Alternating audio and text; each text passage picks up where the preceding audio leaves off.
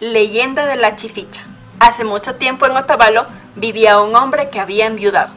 Él tenía dos hijos, pero se sentía solo. Por eso que cuando conoció a una hermosa mujer le pidió que se case con él. Ella aceptó, pero no estaba muy feliz de vivir con los hijos de su nuevo esposo y casi nunca se ocupaba de los niños. Es por eso que ellos siempre estaban con la ropa sucia, rota y a veces no comían. Ellos se quejaron con su padre.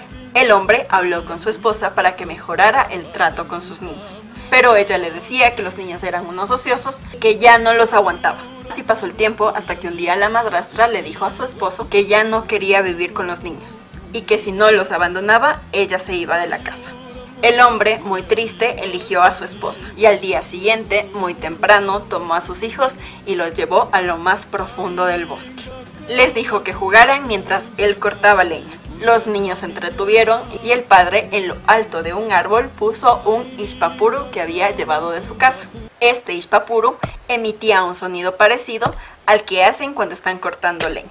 Cayó la noche y los niños empezaron a buscar a su padre para regresar a casa, pero no lo encontraron. Estaban muy preocupados y siguieron el sonido del ishpapuru y se dieron cuenta que su padre se había ido sin ellos. Empezaron a caminar buscando un poblado. Cada cierto tiempo se subían a un árbol para ver si veían alguna luz. A lo lejos ellos vieron una casa y empezaron a guiarse. Después de algún tiempo llegaron y golpearon a la puerta. Les abrió una humilde ancianita de aspecto muy dulce. Los invitó a pasar y les dio de comer.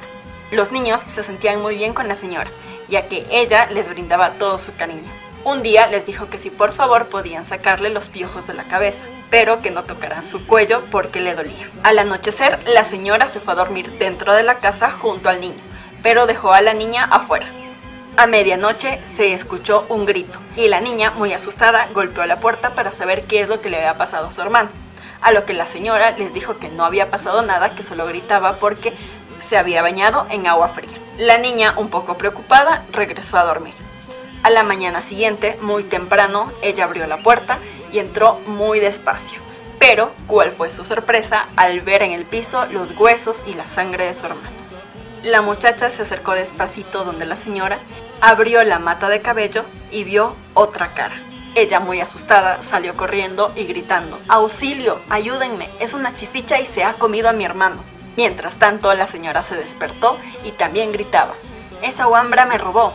Cójanla. Unas personas que vivían cerca ayudaron a la niña y la escondieron. Cuando llegó la chificha, la calmaron y le dijeron que no habían visto a la niña, pero que ayudarían a capturarla. Le dieron chicha para chumarla y la mandaron a su casa.